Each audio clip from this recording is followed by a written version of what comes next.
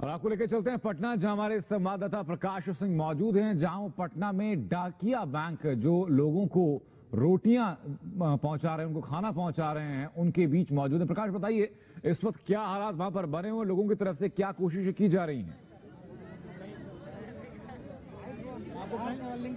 देखिए ये postal department के तरफ़ से ये योजना शुरू की गई है। डाकिया बैंक लाया जो कि लो, आम लोगों के डोर स्टेप तक पहुँच रहा है और बैंक है वैन में कैश वैन और ये देखिए ये डाकिया है ये बाइक से चल रहे हैं ये बैंक चल रहा है व्हील पे और यहाँ देखिए कनाडा बैंक। है। ना सर?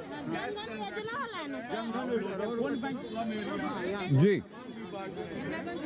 और ये देखिए डाकिया लोग यहाँ महिला से बात कर रहे हैं। तो आप ये बताइए सर कि क्या योजना है जो जो आपने चालू ये आज के समय में खास करके कोरोना के समय में और पहले भी हम लोग घर पर आपका किसी भी बैंक में, आपका किसी भी बैंक में अकाउंट हो, आपका पैसा आपके घर पर हम लोग जाके दे रहे हैं आधार एनेबल पेमेंट सिस्टम के द्वारा।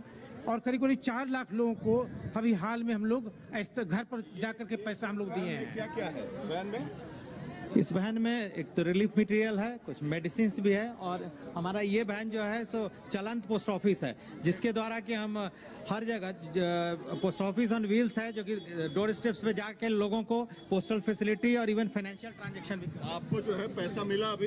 अभी नहीं मिला सर। अभी चेक कर रहे जी अभी चेक कर रहे हैं। आप कहाँ यही रहती हैं? जी सर बगल में ये लोग आए हैं तो ये कैसा स्कीम है बहुत अच्छा स्कीम है सर। गरीब लोग के लिए बहुत ही अच्छी बात आप लोग कितने डाकिया लोग आते हैं और तीस चालीस डाकिया हमारे पटना में पूरे हर जगह हर मोहल्ले में आते हैं जाते हैं और इसका सेवा हम लोग देते हैं। क्या क्या बांट रहे हैं? अभी दवा है और बैंक से जो है आधार कार्ड पर ये क्या पैसा क्या है? ये मेडिसिन है हाँ। और एसेंशियल आइटम्स है।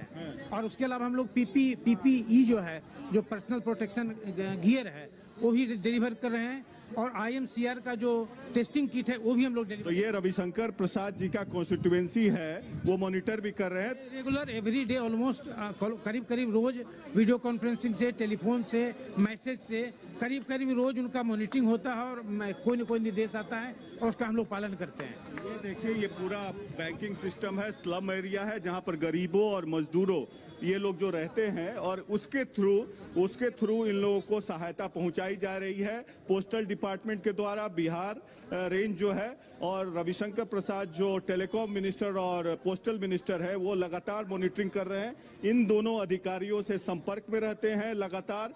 ये दोनों Anil Kumar chief post master general और पोस्ट मास्टर जनरल है जिनसे लगातार संपर्क करके बिहार के विभिन्न कोनों में ये लोग राहत पहुँचा रहे हैं ज़रूरी सामान पहुँचा रहे हैं। पटना बिहार और खासकर पटना में जी। स्लम एरिया में देखा आपने कि कैसे डाकिया बैंक लाया स्कीम के तहत पैसे पहुँचा जा रहे हैं गरीबों को और ज़रूरत की सामान। ज़रूरी है प्रकाश जी ज़रूरी है किसी तरह के कदम पूरे देश में उठाए जाए क्योंकि लॉकडाउन की वजह से बहुत सारे ऐसे लोग अनंत जिनको खासी दिक्कतें हो रही है। और पटना से ये जो तस्वीर सामने आ रही है वाकई वाकई सराहनीय पहल है।